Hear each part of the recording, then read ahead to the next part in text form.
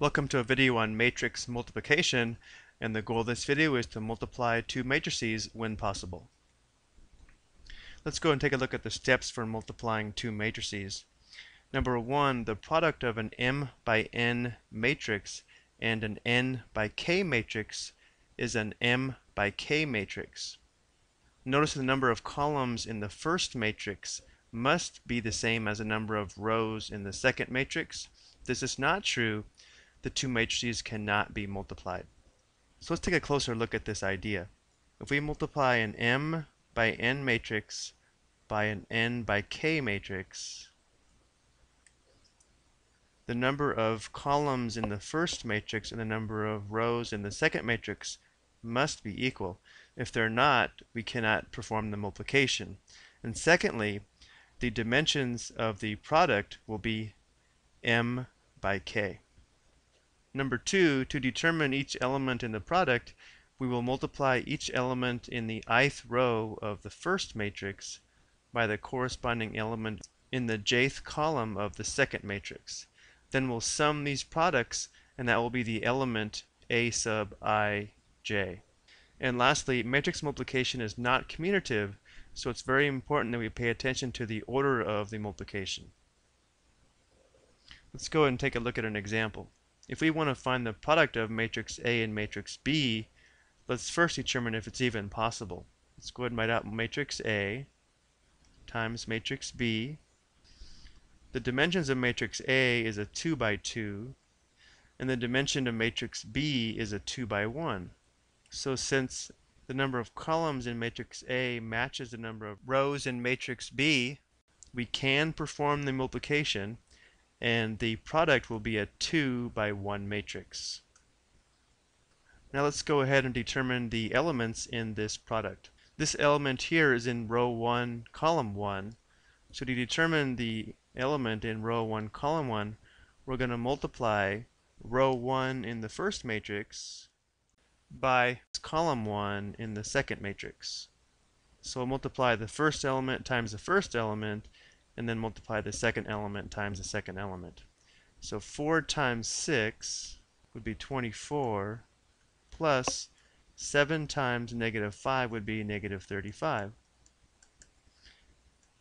So the element in row 1, column 1 is equal to this sum, which is negative 11. In order to determine this element, this is in row 2, column 1, so we'll multiply row 2 in the first matrix times column 1 of the second matrix. So we'll have 2 times 6, that's 12, plus negative 1 times negative 5, that's positive 5. So the element in row 2, column 1 is equal to 17. And there's the product of those two matrices. Let's go and take a look at number 2. Number 2 we have matrix B times matrix A. So we're changing the order of the multiplication.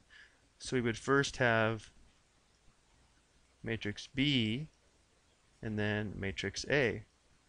We always have to check to see if it's even possible. This is a 2 by 1 matrix and this is a 2 by 2 matrix. Well, the number of columns in the first matrix does not match the number of rows in the second matrix. Therefore, we cannot find this product and we can say that this product is undefined.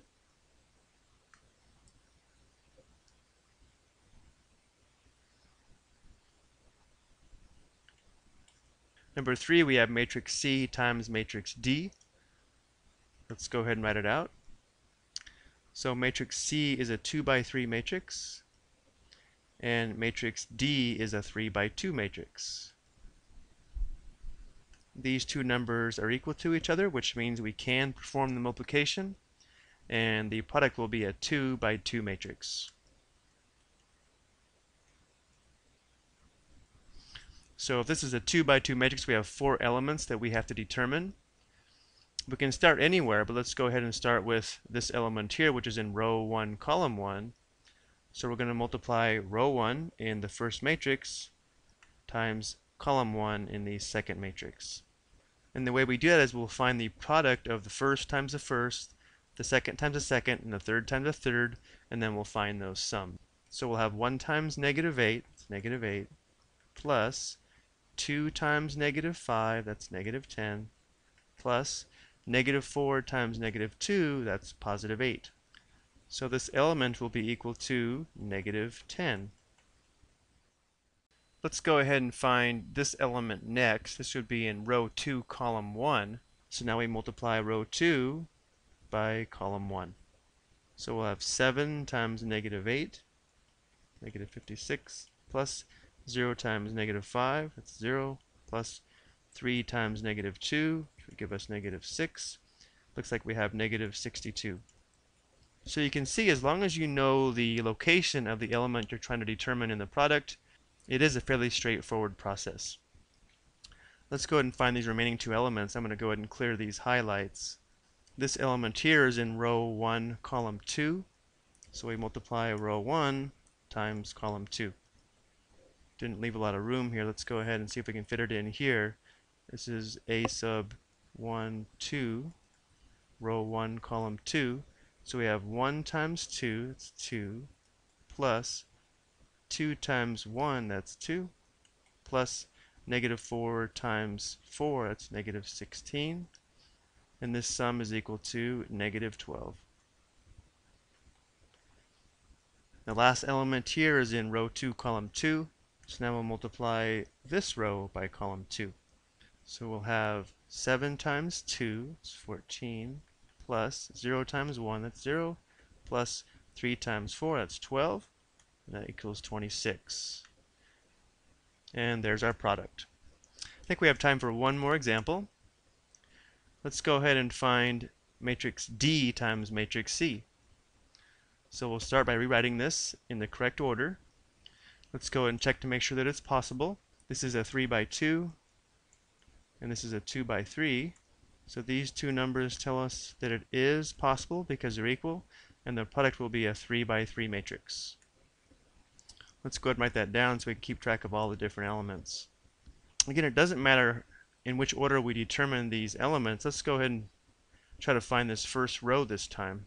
So to determine this element in row 1, column 1, we'll multiply row 1 in the first matrix times column 1 in the second matrix. So we'll have negative 8 times 1 plus 2 times 7 is 14. So we have positive 6 and this element here is in row 1, column 2. So now we'll multiply this row by this column. So we'll have negative 8 times 2, that's negative 16, plus 2 times 0, that's 0. So we have negative 16. This element is in row 1, column 3. So now we'll multiply this row by this column. So we have negative 8 times negative 4, that's positive 32, plus 2 times 3, that's 6. So it looks like we have 38. Let's go ahead and determine row 2 now. This is in row 2, column 1. So we'll multiply row 2 in the first matrix times column 1 of the second. So I have negative 5 times 1, that's negative 5, plus 1 times 7, that's 7, that equals positive 2. Now we'll go to row 2, column 2, in this location here. So now we'll multiply row 2 by column 2. Negative 5 times 2, that's negative 10, plus 1 times 0. So we have negative 10. And then row 2, column 3 here. Here's column 3. So we have negative 5 times negative 4, that's 20, plus 1 times 3, that's 3. So we have 23. And finally the last row,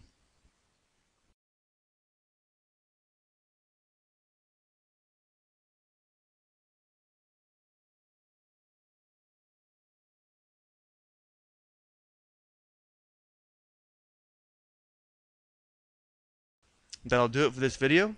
Thank you for watching.